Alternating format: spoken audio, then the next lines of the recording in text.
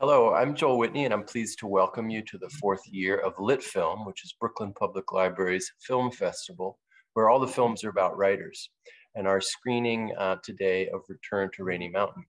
Last fall, we screened N. Scott Momaday, Words from a Bear from PBS's American Masters.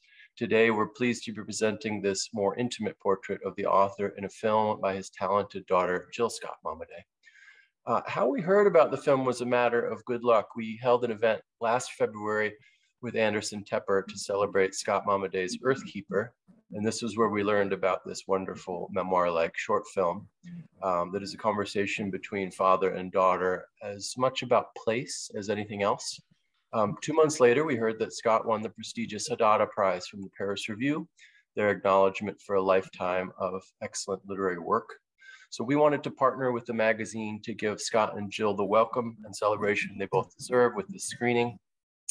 And uh, I'll just add that to read more of their celebration of Momaday, please go to the Paris Review's website, theparisreview.org, and to see uh, other films in the festival about August Wilson, Hannah Arendt, and many others, please go to bklynlibrary.org slash litfilm. Meanwhile, uh, we've invited Brian Ransom, the assistant online editor of the Paris Review, to ask the Momadays a few questions to set up the screening uh, at Lit Film. And uh, with that, I'll just say, Brian, take it away. It's all yours. Hello, and thank you, Joel, for that introduction. And welcome to Scott and Jill. It's so nice to be speaking with you today, and so nice to have you introducing the short itself. Um, thank you. Thank you. I think the first thing I wanted to ask was what was it like to work on this project together as father and daughter? You know, Brian, I carried the the project with me for about 20 years and I couldn't get to it. I was raising a family and you know, the other thing that I was very aware of in my being was my dad's language, you know, family, um, uh, the land, poetry. So I had ideas in my heart that I wanted to tell this story. It was very, very important to me to tell a very intimate but visual and personal story. And so um, it was a wonderful thing to, you know, make the film and, and have my dad be a part of it. You know, that was the whole idea. It was my grandmother who said, "You've got to tell this story in your your woman voice," you know, and it was my way of getting really close to my dad and getting to understand family and my cultural histories. You know, Jill has always been interested in her heritage, her, her Native American heritage. And we have talked uh, again and again and again, read things about the Kiowas and so on. And, and all of this was germinating in her mind. And finally, it came uh, to fruition with the film, which I think is a masterpiece. She just did a wonderful job with it. And uh, so I'm so very proud of her. Thank you. Yes, it's a lovely film, and um, for for longtime readers of your work, Scott, it it serves as a wonderful complement because you get to see all of these places that are significant to the Kiowa stories that you tell in The Way to Rainy Mountain and that you touch on in Earthkeeper. Um, it's a really lovely thing. Um, I wanted to ask for viewers uh, here at Lit Film who may not be familiar with the landscape as much. Is there anything they should know going into the film about it? Well, you know, I'm following in the footsteps of my forebears. The Kiowa people migrated from way up north in the 1700s, and most likely they were following the buffalo herd and game. And they came down into the central and southern plains and ended up in Oklahoma, southern Oklahoma at Rainy Mountain. So for me, Brian, I had heard the stories all my life from from you, Dad, and from yeah. my grandparents. Um, and I hadn't been to some of these places. I hadn't been to Devil's Tower yet, and I hadn't been to Medicine Wheel in Wyoming, I mean, in Montana. And um, it was so important to me. I felt like I knew it and I held it in my spirit and my soul, but I needed to follow in those footsteps.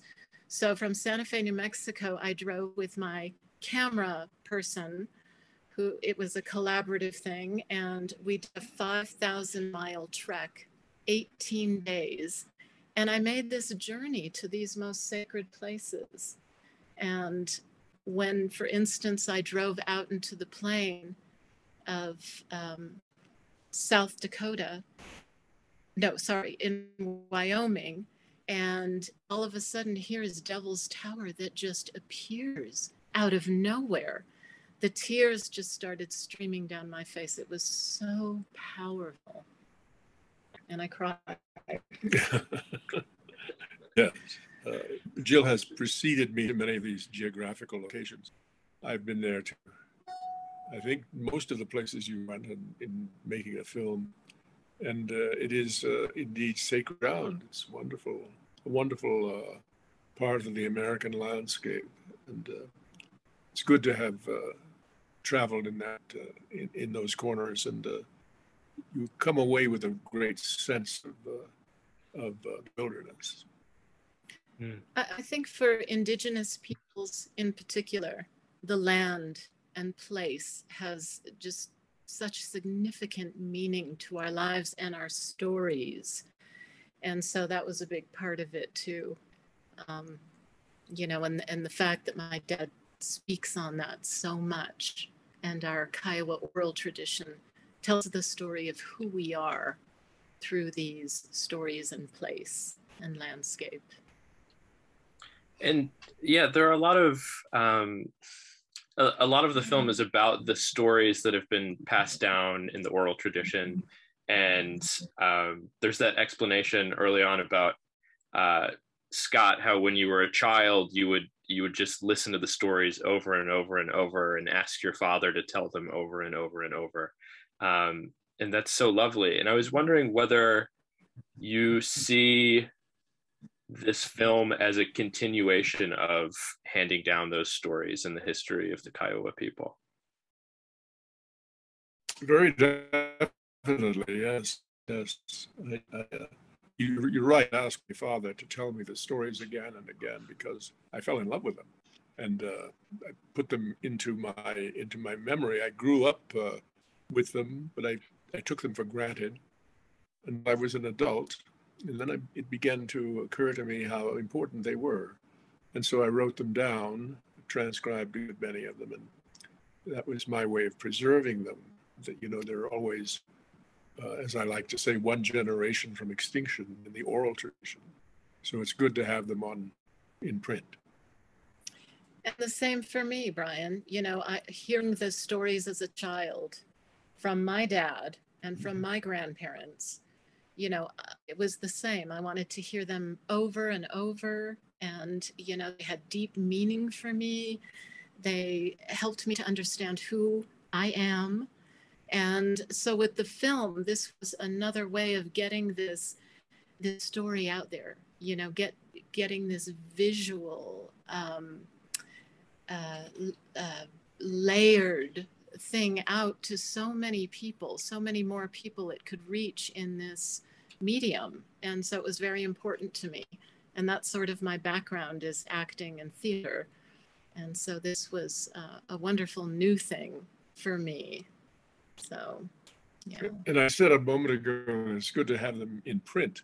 And I should have said in print and on film, because we owe that to uh, to Jill. She she did a marvelous job of of uh, filmmaking.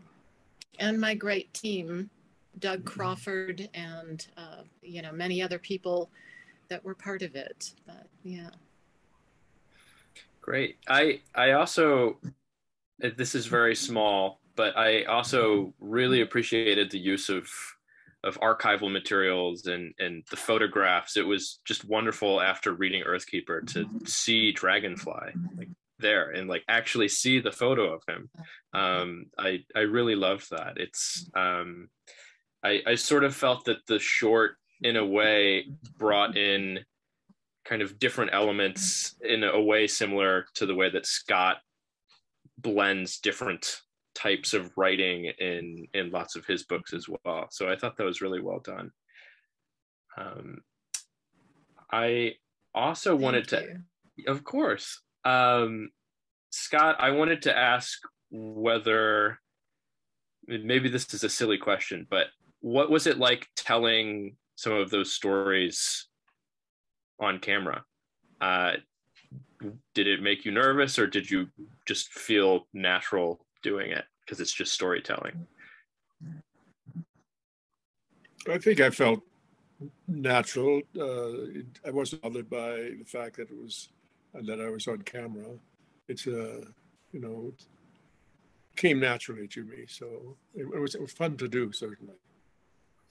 He, he's such a natural, Brian. He truly is. And, uh, you know, it was very intimate settings. It was just like father and daughter together, and we were on this journey and we were going to place and we were visiting, you know, our Kiowa people, and we were part of the gourd dance, which is sacred that I grew up with my sisters and and me, I. Um, but I wanted to just touch on the photographs because I, you know, they are so meaningful to me. And my grandfather Al Momaday uh, really documented a lot of um, you know, my dad's life and their early lives. So he was a keeper of photographs, and I became the keeper of photographs, you know, putting them together and holding on to them because they meant so mm-hmm. much to me. So, um, you know, the fact that we have all these photographs, and the interesting thing about it, and Dad, you've told me this, is that, you know, when when my dad was growing up in the 30s in Oklahoma, you know, it was the Depression and it was the Dust Bowl and it was all kinds of hardship and Native people, Indian people. You know, it was not an easy time. They were on allotments of land that were given to them and they were meant to farm and they were not farmers at all. They were nomadic warriors. So it was a difficult thing. But, um, photographs weren't really taken, but there happened to be a man in the Kiowa tribe that was given a camera. And so he started documenting early Kiowa life. And he's a relative of ours. And so we have many of these photographs that you saw in the film. And also, I was the advisor, family advisor for um, in uh, Words from a Bear for the American Masters film. So I supplied them with all of the photographs archivally for that as well. Um, but I'm, I'm so pleased that we have that. I just wanted to mention that because it's a little bit rare, I think.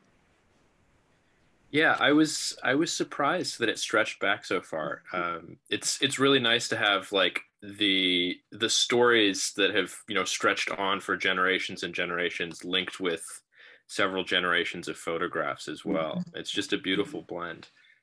Um, I suppose since we're supposed to keep things short and sweet, I shouldn't take up too much of your time. Mm-hmm. Um, but I did want to ask uh, what each of you are working on and whether you're going to work on anything together in the future or are currently working on anything.